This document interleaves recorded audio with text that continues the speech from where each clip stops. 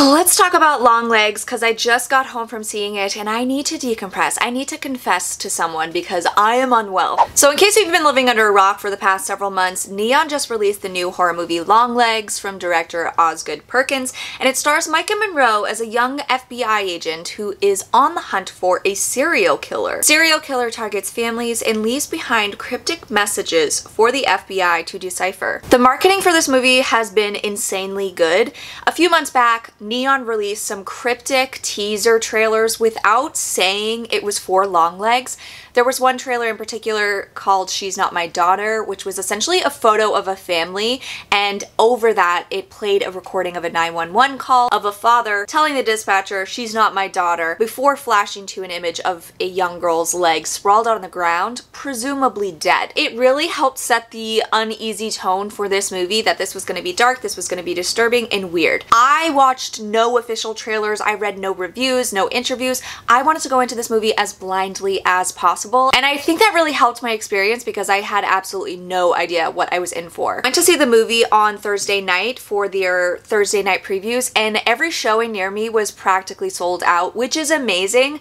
I think that they've already made $3 million in that night alone. So I think Neon is going to have a really great success on their hands with this movie. I think a lot of people are going to be divisive on how they feel about this one because unfortunately the marketing was so good that it built up this huge hype for the movie and many people have said it's the scariest movie they've ever seen. So I think that's really to affect how people go into this movie. They're going to go in expecting it to be insane and crazy and the scariest thing they've ever seen. And I don't think that's the case, but I did still find the movie really scary, but in a different way. The movie itself is incredibly moody and atmospheric. It is so unsettling and the dread is just suffocating. I was going through the whole movie at points holding my breath because I was just anticipating, okay, what's gonna happen next? And I had no idea where the story was gonna go. When you get flashes of intense violence or gore, it's shocking. My, my chest was so tight throughout this movie, I could not breathe. And after I got to walk out of the theater, I was like, okay, I need to recover somehow. Like, I just felt so uncomfortable. I think that that uncomfortableness and that feeling that this movie gave me made me really love it so much. I think I rated it five stars on Letterboxd, which is very rare for me. I never rate movies five stars. So the story is told in three parts and over the course of the three parts, things get progressively weirder and creepier. It opens up with an incredibly uncomfortable opening scene, a prologue if you will, of this little girl on her farmhouse and she encounters this creepy dude aka the killer. And we don't fully see him, we just get a glimpse of him. And from what you see, you can see that he's unnatural looking. He is so creepy. And I was like, oh shit. Immediately, that opening pulled me in and I knew what kind of movie I was getting myself into. I knew the tone. I was just, it was perfect. And I was like, yes, I'm in for this ride. Then we cut to present day. It's set in the 90s and Maika Monroe's character gets pulled into the Longlegs serial killer case because she helped bring in another serial killer based on intuition. She has some sort of gift that she is very intuitive and sensitive and she just gets things in a way that the other FBI agents don't. So she gets pulled into the case and she's pouring through the case files and we get to see news clippings and learn more about the actual murders themselves and see the victims and all of the victims are families. And these murders, the way they take place, there's a unique element to them that makes the FBI question everything. At the scene of all of these crimes are these letters that are cryptic and filled with symbols that are very much like the Zodiac Killer,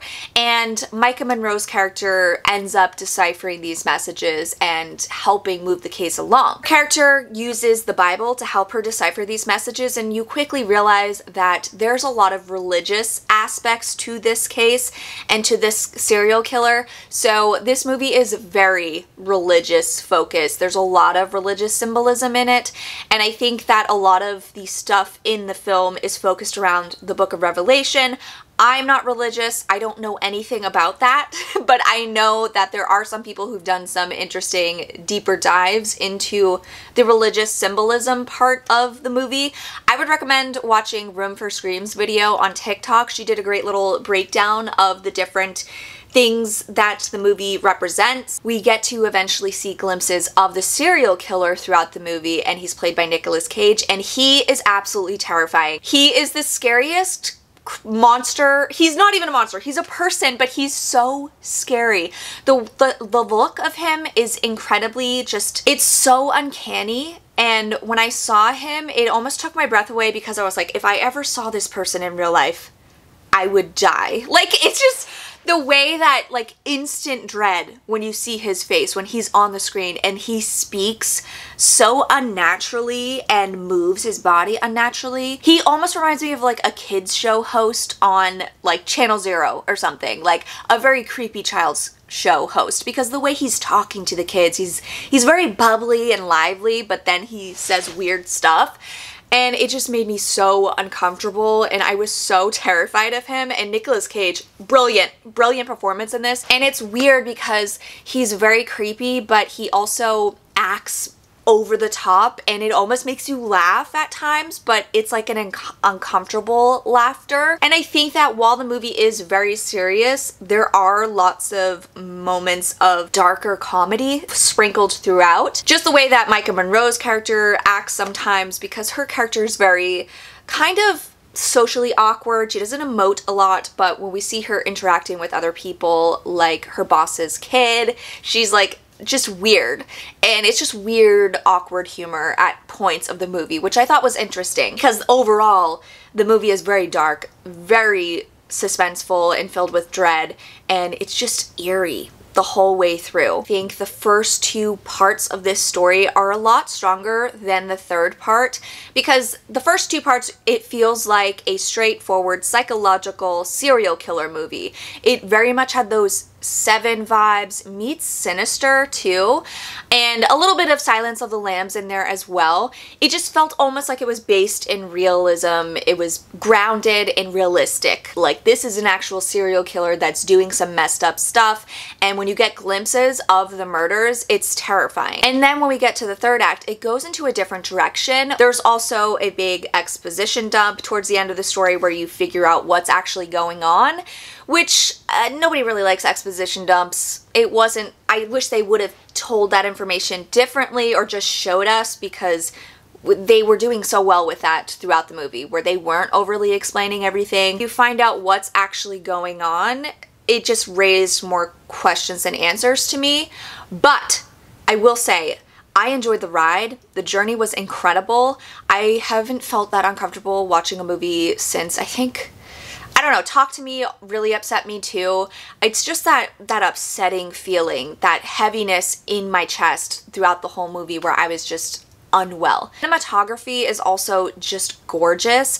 This was the first real Osgood Perkins movie that I actually watched and enjoyed. I'm getting the sense that he is very dark and moody because that's what this movie is and he has these really beautiful shots of the scenery and it almost feels immersive. Like there's moments where it's like the camera is overlooking the character as they're exploring this place and you feel like you're almost playing a video game where you're like, holy shit, what are they to find around the corner? And I really liked those moments because they were super intense to me where I just, I was so just bottled up in my seat and so nervous for what was gonna happen. And the shots are just beautiful. Even the acts of violence are beautifully shot as well. So I think that if you like moody, atmospheric horror that's more about style than plot, I guess, then I think you'll really like this one. If you like serial killer horror that gets weird, you'll like this one. If you like religious horror, you'll love this one. It was just unique to me, even though they took a concept that is pretty generic